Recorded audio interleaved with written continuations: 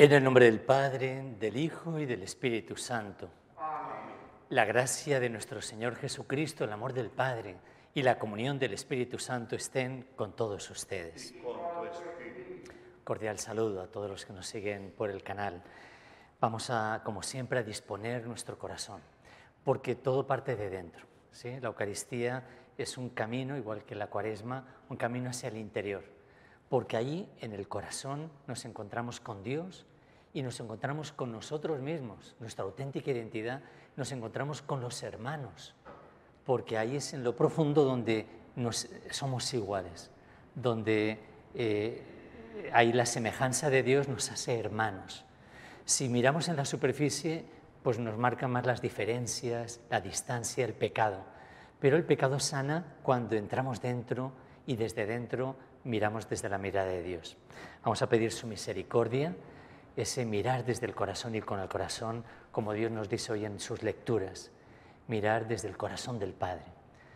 Yo confieso ante Dios Todopoderoso y ante ustedes, hermanos, que he pecado mucho de pensamiento, palabra, obra y omisión, por mi culpa, por mi culpa, por mi gran culpa. Por eso ruego a Santa María, siempre Virgen, a los ángeles, a los santos y a ustedes, hermanos, que intercedan por mí ante Dios nuestro Señor.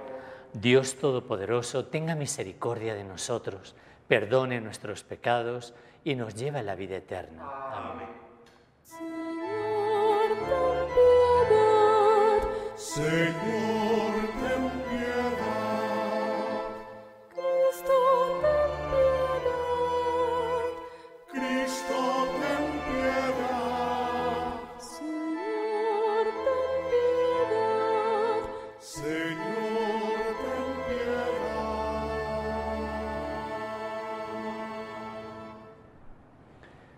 Oremos.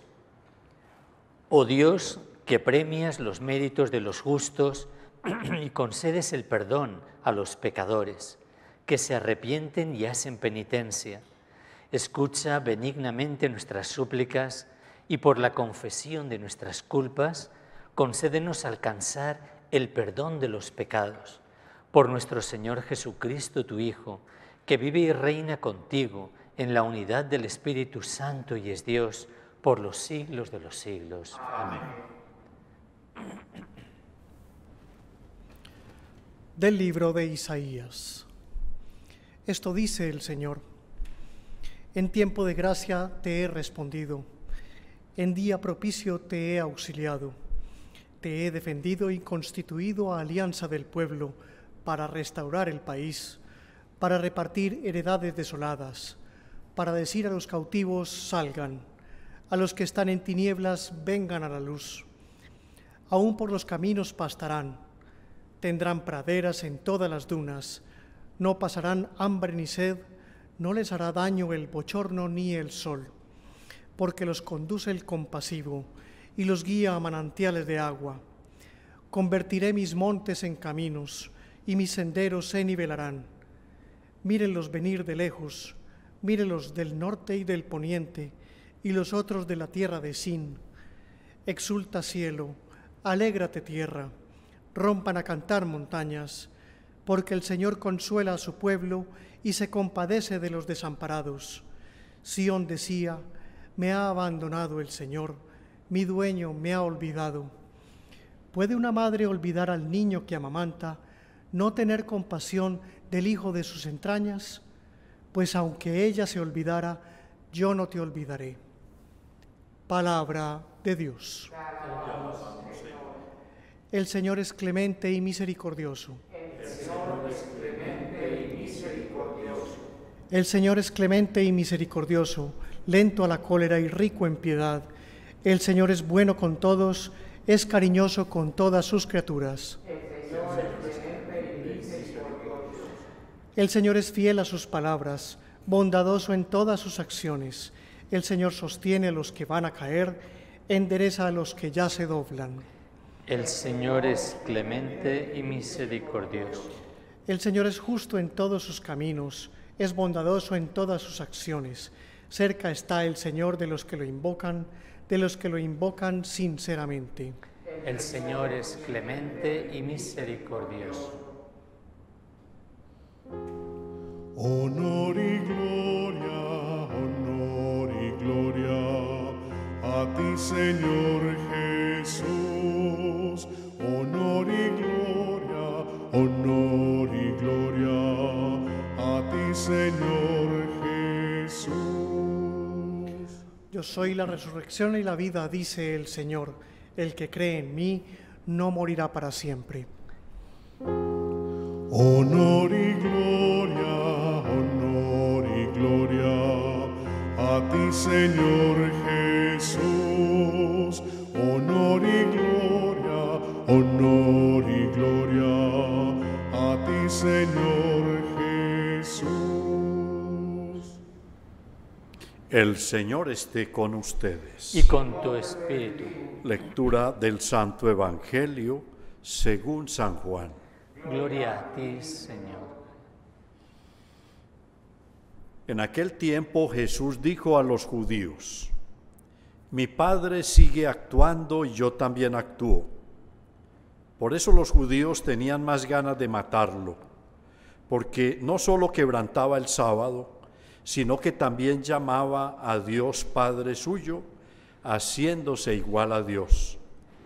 Jesús tomó la palabra y les dijo, en verdad, en verdad les digo, el Hijo no puede hacer nada por su cuenta, sino lo que viere hacer al Padre. Lo que hace éste, eso mismo hace también el Hijo, pues el Padre ama al Hijo y le muestra todo lo que Él hace, y le mostrará obras mayores que ésta para su asombro. Lo mismo que el Padre resucita a los muertos y les da vida, así también el Hijo del Hombre da vida a los que quiere. Porque el Padre no juzga a nadie, sino que ha confiado al Hijo el juicio, para que todos honren al Hijo como honran al Padre. El que no honra al Hijo, no honra al Padre que lo envió. En verdad, en verdad les digo, quien escucha mi palabra y cree al que me envió, posee la vida eterna y no incurre en juicio, sino que ha pasado ya de la muerte a la vida. En verdad, en verdad les digo, llega la hora, y ya está aquí, en que los muertos oirán la voz del Hijo de Dios, y los que hayan oído vivirán porque igual que el Padre tiene vida en sí mismo, así ha dado también al Hijo tener vida en sí mismo. Y le ha dado potestad de juzgar, porque es el Hijo del Hombre. No lo sorprenda esto, porque viene la hora en que los que están en el sepulcro oirán su voz. Los que hayan hecho el bien saldrán a una resurrección de vida. Los que hayan hecho el mal a una resurrección de juicio. Yo no puedo hacer nada por mí mismo. Según le oigo, juzgo. Y mi juicio es justo porque no busco mi voluntad, sino la, la voluntad del que me envió.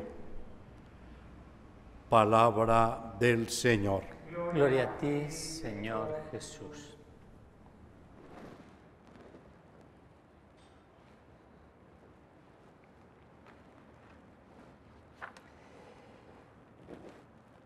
Estamos en este camino de, cuaresma, camino de liberación, ¿sí? camino de resurrección, en realidad del paso de la muerte a la vida.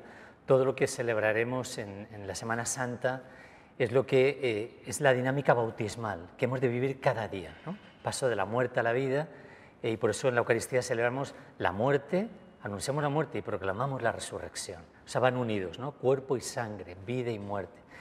Y por eso necesitamos integrarlo. A veces eh, por evadir la muerte eh, nos quedamos muertos justamente. Y pensamos que nosotros podemos por nosotros mismos. Cuando Jesús dice, el que quiera salvar la vida la perderá, el que la pierda la salvará, se refiere a esta dinámica. Y las lecturas de hoy hablan de eso. Justamente el entregar la vida, el perder la vida, significa eh, la humildad. O sea, el ponerme en manos de Dios.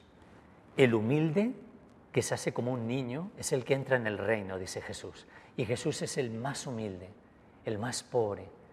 Y ahí nos muestra el poder y ahí nos muestra la gracia para vencer el mal del mundo, que tiene tanto poder. Justamente porque Él, como un niño, se pone en los brazos del Padre, de ese Dios que es Padre y Madre. Y hoy la lectura de Isaías, preciosa, nos muestra eh, ese texto, de un Dios que es mamá, un Dios que es entraña de misericordia y que no nos abandona nunca, nunca. ¿no? Él mismo llega a decir esta expresión tan fuerte. ¿Y puede una mujer olvidarse del hijo de sus entrañas, no compadecerse de su niño? Dice, es imposible. Pero aún así, aunque una mujer llegara a olvidarlo, abortarlo lo puede abortar, pero olvidarlo imposible. ¿Por qué? Porque es el hijo de sus entrañas. Realmente es un ser vivo que se ha gestado en su seno. Dice, pues yo nunca te abortaré. Tú estás en mí. De hecho, el cuerpo místico de Cristo, ¿no? o la iglesia, es ese seno de Dios. Dice en los Hechos de los Apóstoles, San Pablo, en una predicación en Atenas, dice que en Él vivimos, nos movemos y existimos. O sea, estamos gestándonos en Él. Ahí estamos eh, rodeados de vida. La vida, por ese cordón umbilical que es la oración, nos viene todo, toda la gracia. ¿no? Y por eso eh, el Evangelio de hoy tan precioso de este discurso del Hijo, el Juan capítulo 5, que Jesús nos abre el corazón, pero con una humildad. Eh, de hecho, el, último, el penúltimo salmo, el Salmo 149, por el versículo 3 dice que Dios da la victoria a los humildes. Y nos muestra aquí cómo Él, al ser humilde, el Padre le da la victoria, la victoria sobre la muerte. Y dice, en verdad, en verdad les digo, cuando dice esta, esta expresión, es que Jesús va a decir una frase que es clave, nuclear, esencial en el Evangelio. En verdad, en verdad te digo, atento, atenta, el Hijo no puede ser nada por su cuenta, sino lo que ve hacer al Padre. ¿Cómo era la oración de Jesús? Preguntémosle, Jesús, ¿cómo oras? Yo tengo mi mirada puesta en el Padre. Y como un niño, una niña, que todo lo imitan, ¿no? Yo conocí hasta una familia que la niña empezaba a coger, el papá eh, caminaba un poco cojito, ¿no? Tuvo una enfermedad y entonces caminaba así eh, cojeando. Y la niña estaba imitándole. O sea, los niños imitan todo. Hasta los... Eh, yo me acuerdo también, hace muchos años, que yo era maestro de novicios, de los muchachos que empezaban a formarse como misioneros. Y me acuerdo la primera vez que reunimos a las familias. Yo había familias que no conocía.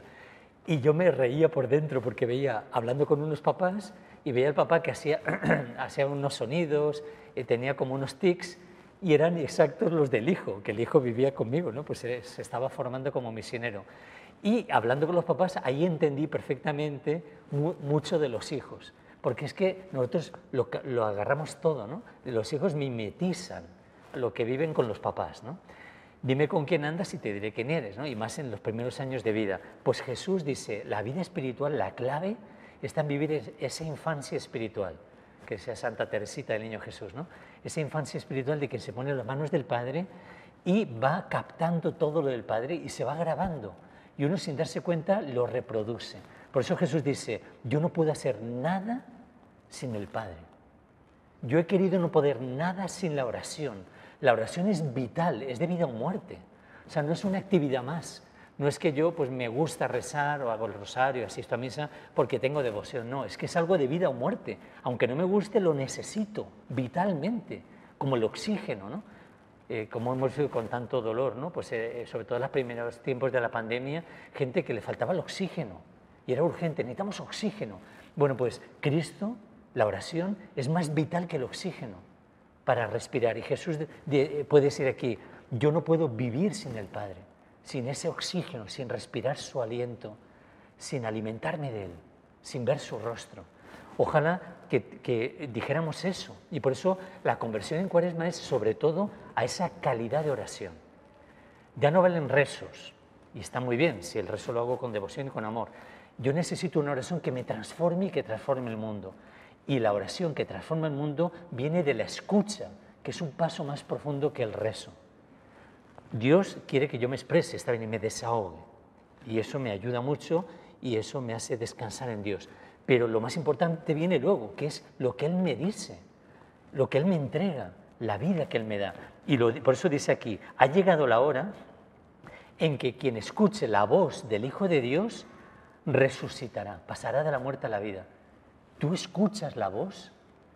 Escuchas significa, perdón, acoges al Hijo, que es la palabra, la palabra hecha carne. Al final de la Eucaristía decimos, una palabra tuya bastará para sanarme, pero es que basta para levantar un mundo, resucitarlo, ¿no? Y poder realmente eh, vivir lo que dice eh, el libro de Isaías, ¿no? Dice, en aquel tiempo, porque el pueblo estaba en el exilio, o sea, realmente fue durísimo, es como todo esto que estamos viviendo tan duro, ¿no? Y hay que seguir pidiendo por Ucrania, todos los lugares de violencia y la gente que tiene que emigrar porque eh, huye de la guerra, del hambre, de la injusticia, ¿no? La gente que sigue huyendo de Venezuela, de tantos lugares, ¿no? porque no hay condiciones dignas. Bueno, pues el pueblo estaba en el exilio, también fruto de la guerra, de la violencia, el pueblo de Israel. Y Dios le dice, eh, convertiré mis montes en caminos, vendrán de lejos, romperán a cantar, porque Dios se consuela a mi pueblo y se compadece de los desamparados. Y entonces el pueblo decía, no, Dios me ha abandonado. O sea, cuando vivimos situaciones duras, eh, la vida que nos da a veces golpes muy duros, ¿no? pensamos que Dios nos ha abandonado, que nos ha olvidado. Y Dios nos dice, y vamos a escuchar y acabamos con estas palabras que nos hablan al corazón, pero ¿puede acaso olvidar una madre al niño que amamanta? ¿No tener compasión del hijo de sus entrañas? Pues aunque ella se olvidara, yo no te olvidaré jamás. Yo no te olvido. Así sea.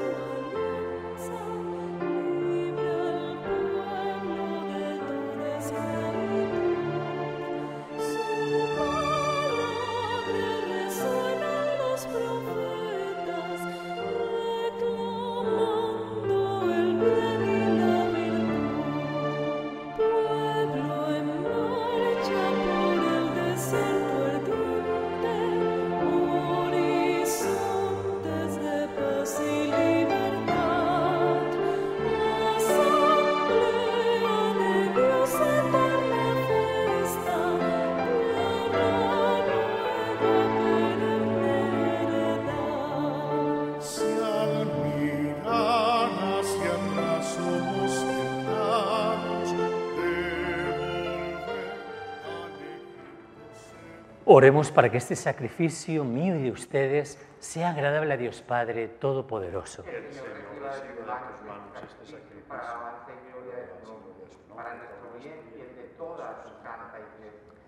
Por la fuerza de este sacrificio te rogamos, Señor, que purifiques nuestra antigua condición pecadora y nos concedas crecer en vida nueva y salvación por Jesucristo nuestro Señor. Amén. El Señor esté con ustedes. Levantemos el corazón. Demos gracias al Señor nuestro Dios. En verdad es justo darte gracias y bendecir tu nombre, Padre rico en misericordia, cuando en nuestro itinerario hacia la luz pascual seguimos los pasos de Cristo, Maestro y modelo de la humanidad reconciliada en el amor. Tú abres a la Iglesia el camino de un nuevo éxodo a través del desierto cuaresmal para que llegados a la montaña santa, con el corazón contrito y humillado, reavivemos nuestra vocación de pueblo de la alianza, convocado para bendecir tu nombre, escuchar tu palabra y experimentar con gozo tus maravillas. Por estos signos de salvación, unidos a los ángeles ministros de tu gloria, proclamamos el canto de tu alabanza.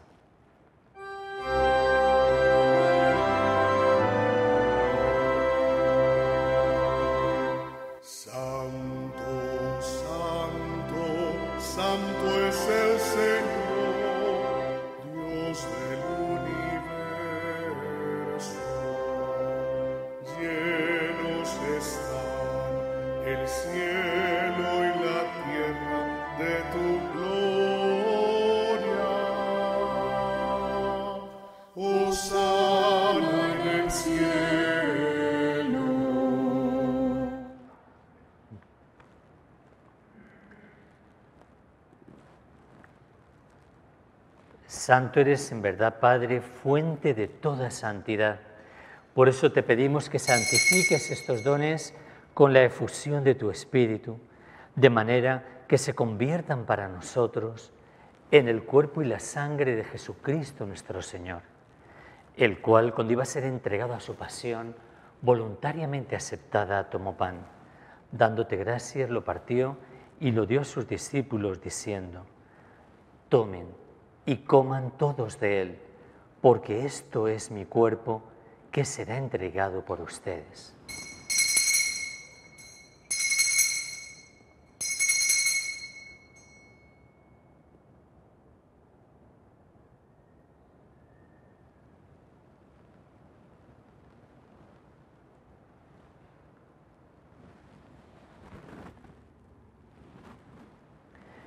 Del mismo modo,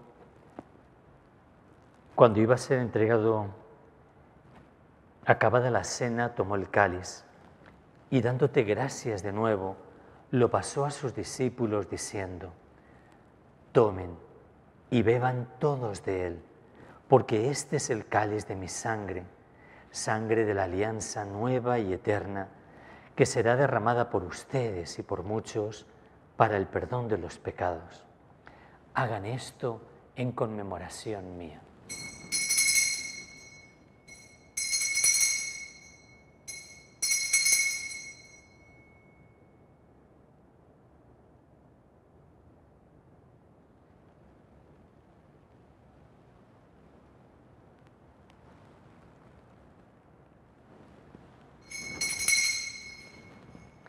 Este es el sacramento de nuestra fe anunciamos tu muerte, proclamamos tu resurrección. Ven, Señor Jesús. Así pues, querido Padre, celebrando ahora el memorial de la muerte y resurrección de tu Hijo, te ofrecemos el pan de vida y el cáliz de salvación. Y te damos gracias porque nos haces dignos de servirte en tu presencia. Te pedimos humildemente que el Espíritu Santo congregue en la unidad a cuantos participamos del cuerpo y sangre de Cristo. Acuérdate, Señor, de tu iglesia extendida por toda la tierra y con el Papa Francisco, nuestro arzobispo Ricardo y obispo auxiliar Mauricio, y todos los pastores que cuidan de tu pueblo, llévala a su perfección por la caridad. Te pedimos por todas las intenciones de los amigos de Televid, todos los que también vamos escribiendo en el chat, todas las intenciones de las personas que se encomiendan a nuestras oraciones. Te pedimos también, Padre, por nuestros hermanos difuntos, admítelos a contemplar la luz de tu rostro. Ten misericordia de todos nosotros y así con María, la Virgen, Madre de Dios, San José su esposo, los apóstoles y cuantos vivieron en tu amistad a través de los tiempos, merezcamos por tu Hijo Jesucristo compartir la vida eterna y cantar tus alabanzas.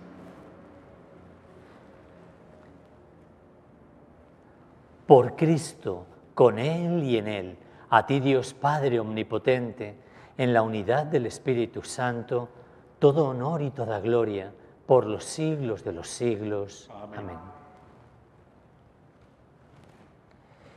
Y vamos a seguir pidiendo por la paz en el Padre nuestro, esa paz que brota de un corazón humilde. El corazón humilde es el corazón que está en la verdad y la verdad se basa en la justicia. El hombre justo, según la Biblia, es el que se ajusta a la voluntad de Dios. Y por eso esa paz que viene de la victoria del amor y que integra las diferencias, une, congrega, crea comunión. Eh, y lo que parece que es distinto, diferente, se convierte en complementario, se convierte esa comunión. Y eso es lo que pedimos en el Padre nuestro, que podamos de verdad orar esta oración que transforma, esta oración que crea reino, ese cielo nuevo que nos dice Dios en el profeta Isaías. Por eso nos atrevemos a decir, Padre nuestro que estás en el cielo, santificado sea tu nombre, venga a nosotros tu reino hágase tu voluntad en la tierra como en el cielo. Danos hoy nuestro pan de cada día. Perdona nuestras ofensas, como también nosotros perdonamos a los que nos ofenden. No nos dejes caer en la tentación y líbranos del mal. Líbranos de todos los males, Señor. Concédenos la paz en nuestros días, para que, ayudados por tu misericordia, vivamos siempre libres de pecado, protegidos de toda perturbación, mientras esperamos la gloriosa venida de nuestro Salvador Jesucristo. Es el.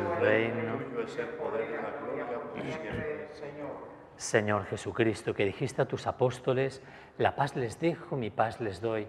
No tengas en cuenta nuestros pecados, sino la fe de tu iglesia, y conforme a tu palabra, concédele la paz y la unidad. Tú que vives y reinas por los siglos de los siglos. La paz del Señor esté siempre con ustedes. Como hijos de Dios, intercambien ahora un signo de comunión fraterna.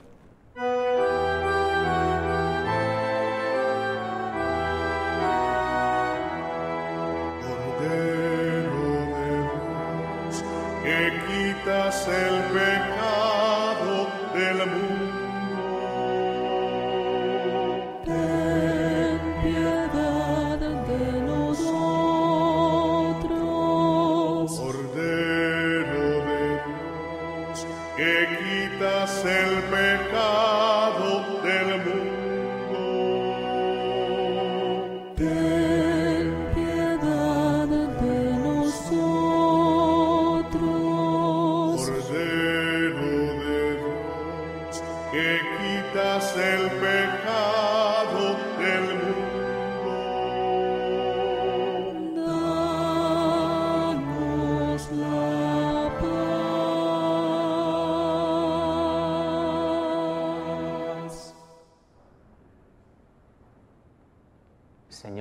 a darnos vida desde tu humildad, tu pobreza, tu dependencia total del Padre. Señor, que no podamos dar ni un paso, que no podamos hacer nada sin ti, que te necesitemos vitalmente, como el bebé necesita vitalmente de la madre. Tú que eres el Cordero de Dios, que quitas el pecado del mundo, dichosos los invitados a esta cena. Señor, no soy digno de que entres en mi casa, pero una palabra tuya bastará para sanarme.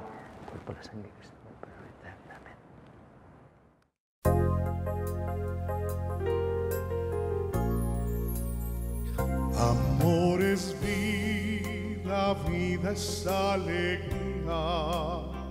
Quien nunca amó vivió sin ilusión. Amor es vida y vida es alegría. Quien nunca Creo, Jesús mío, que estás real y verdaderamente presente en el Santísimo Sacramento del altar. Te amo sobre todas las cosas y deseo vivamente recibirte dentro de mi alma. Pero no pudiendo hacerlo ahora sacramentalmente, ven al menos espiritualmente a mi corazón. Y como si ya te hubiese recibido, te abrazo y me uno del todo a ti. Señor, no permitas que jamás me aparte de ti. Amén. Alegre estoy, cantando voy. Este es el día que hizo el Señor. Alegre estoy, cantando voy este es el día que hizo el Señor.